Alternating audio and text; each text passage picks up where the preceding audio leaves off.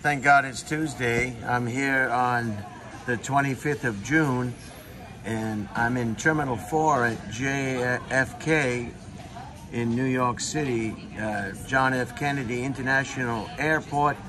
Terminal 4, I'm in the Delta Terminal awaiting my uh, flight back to Austin. And I wanted to give you a quick tour of this Pet Relief Center. They're all designed differently. This has a wave to open mechanism. And there it is. So these are all designed differently by different architects, uh, different engineers, different uh, accessories. So, uh, oh, there's the door. It's automatically going to close behind me. And that's a nice feature. It's a touchless door. You just wave your hand and it will open. What is this device here? Not quite sure what that is. They've got an outlet here in case you want to plug in some kind of electrical device. They have a fire alarm system, which is nice. This is a very small pet relief center compared to some of the ones that we've toured. Here's a Dyson, the same company that makes those uh, relatively inexpensive or expensive uh, vacuum cleaning uh, here's your waste basket here. Looks like they've had some canines. I've seen a lot of canines in airport terminals lately. Here's your touchless uh, place hands here.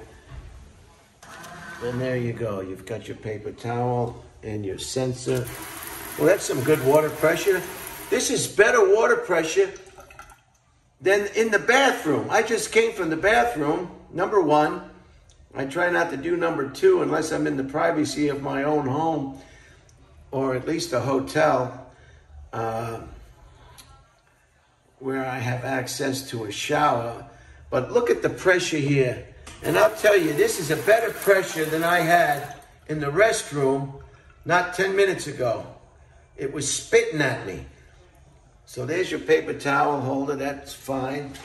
This looks like some uh, Gojo is a hand cleaning uh, apparatus. So this is a very well kept, very, very small, I might add. And here is the actual pet relief area. Uh, fire hydrant lets the animal or the canine know that this is a safe place for them to relieve themselves. And they also have what looks like a uh, apparatus for uh, drying. That looks like that might be I'm not quite sure. I'm not going to turn any of these water uh, uh, faucets on. I don't even want to touch it because uh, I think you get the message. This is probably a water hose. Uh, can you see that there? Some of you probably recognize this, you who have used these facilities before and know what uh, it all entails, but I'm reluctant to touch it because then I'll have to wash my hands and I just washed my hands and I don't want to wash my hands again. Uh, there's your fire hydrant and your artificial turf. Uh, and this is the area right here. Here's the bag so you can clean up after your dog. Please clean up after your dog. Pull bag it looks like uh, they've got some bags here. They may need to restock this soon. Instructions for use. You put your right or your left hand. If you're left-handed, your right hand. If you're right-handed, your left hand. If you're, uh, if it doesn't matter what hand you use, some people are both left and right-handed in, in, in the fact that they can use uh, either hand to do anything they want. Uh, they don't necessarily have a, a dominant, a um, hand. So uh, I guess for argument's sake, uh, sake, uh, sake, if you're left-handed or right-handed, and possibly not both-handed, you would use your right hand or your dominant hand, or perhaps your your left hand, uh, whatever hand that you're comfortable using, and you slip that inside the bag. And this is this is kind of interesting for people who don't own canines to see what what it entails to pick up animal waste. And there it is. That's the picture. The second picture is the animal waste being picked up with the left hand or the right hand, whatever hand is that you feel comfortable using picking up uh, your canine waste, and you grab it and you you you you you grab it, and then you turn the bag inside out. I don't know if this really depicts that. And then uh, I guess this other hand, see, one hand is picking up the waste. The other hand is going to pull, if you can see right over here, it's going to pull the bag over, over the hand. And that poo will be inside the bottom of the bag. And this is what it looks like when it's done properly. This keeps your hands free of any animal or canine waste and cleans the area as well. And then you deposit these bags in the bag receptacle over here to my left. Uh, here's a drainage port when I guess they clean and service these uh, these areas. And uh, so it's nice that they have instructions. Maybe somebody's a new pet owner or a new canine owner and is not familiar you know, it's like the seatbelt on an airplane. They have to tell people how to buckle and unbuckle that seatbelt because maybe they have not experienced that combination of belt or male or female interlocking device. Maybe they haven't flown before. Maybe they're not familiar. So every flight, uh, people have to be in reintroduced to the proper application of the seatbelt. In this case, could very well be the same uh, situation uh, instructions for use on these bags. So there you have it. Number one, place hand into bag. I don't know if you can see this. Number two, pick up waste and turn bag inside out. That would be number two right there. He's turning the bag or she's turning the bag inside out. And then uh, in step three, tie a knot and dispose in the disposal area. So there it is. Please clean up after your dog. So that's it. I think this is it. Nice recessed lighting, if that's what I can call it. Look how high this ceiling is. This ceiling is higher probably than the ceiling in the terminal. I mean, it's unbelievable. I can almost touch the ceiling in the terminal. Uh, I don't know who is designing these airports. Uh, and those comfortable seats uh, are now being replaced by uncomfortable seats. It's like sitting on a piece of plywood. So things are getting, yeah, it, it appears things are getting worse instead of getting better as far as our architectural companies or representatives are doing. They're really, they're really dumbing down architecture but that's my opinion. It may not be your opinion, but I like high ceilings. I think everybody does. So I'll, I'll stop on that. So I think I'm going to back out of here now.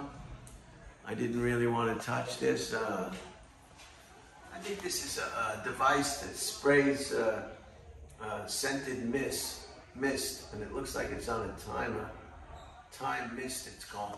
Let me see if I can get a close you might want to get this, or you can probably find this someplace and have this installed in your own home, perhaps a shed or a garage, or a, or even a, a dog a dog run or a canine run area, or any area that you think needs a little bit of uh, TLC, considering uh, what the area is like in that area. So that's it. I'm gonna back out here now. And I just hope, uh, what do we got? Nine minutes, just a 10 minute uh, little. I'm going to use this wave feature here. I don't know what this is. This looks like it could be a. If you push that button, you might cause an alarm or a siren.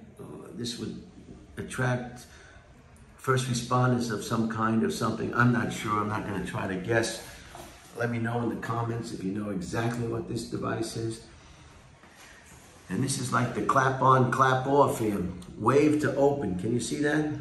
All right, I'm not using the Brian Redband selfie stick. I have the one I got in Rome. I'm afraid of losing that Brian Redband selfie stick, so I opted that to leave that in Austin, and I'm using this one if this one gets lost or stolen, misplaced, or broken.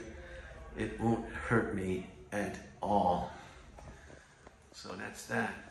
So that's. Uh, I guess it's self-explanatory. I, I just don't want to, I don't want to mess with it to tell you frankly, but I think it's important that you just see the different designs of each uh, uh, pet pet bathroom, I guess, for lack of a better term. These are bathrooms for uh, for canines. Okay, I'm gonna get out now, and uh, there it goes. See the way it opens? Look at the way it opens. Bam, just like that. I'm out. And then it has a little timer on it, and it'll close. It'll close. There it goes. And it's gonna close. And I'll just get back here so you can see the whole area. That's how it is. Now I have to be careful because I am in the United States, and uh, you get this iPhone 12 Max Pro in the wrong person's face, and they will just lose it they will they will just lose it. So have a nice day, and uh, I hope you enjoyed this short presentation of the pet relief area, and it even has uh, it even has uh, it even has the uh, the uh, nomenclature for the people who are vision impaired. They can touch this, and it has raised. Uh, and that makes sense because a lot of dogs service uh, people with uh, seeing impairments. So it makes a heck of a sense. And there's a picture of your canine. And I'm gonna I'm gonna close it now before I get very nervous in America when I do these presentations because people are just they're out of control. They're afraid of their image. They're not comfortable with their image and they don't wish to share that image, well, they should walk around with paper bags on the top of their head. Yeah, walk around with paper bags on your head. Just draw a smiley face. All right, I'm going to cut it here. Enjoy the rest of your week. Tomorrow is Wednesday, and uh, hump day, as they say.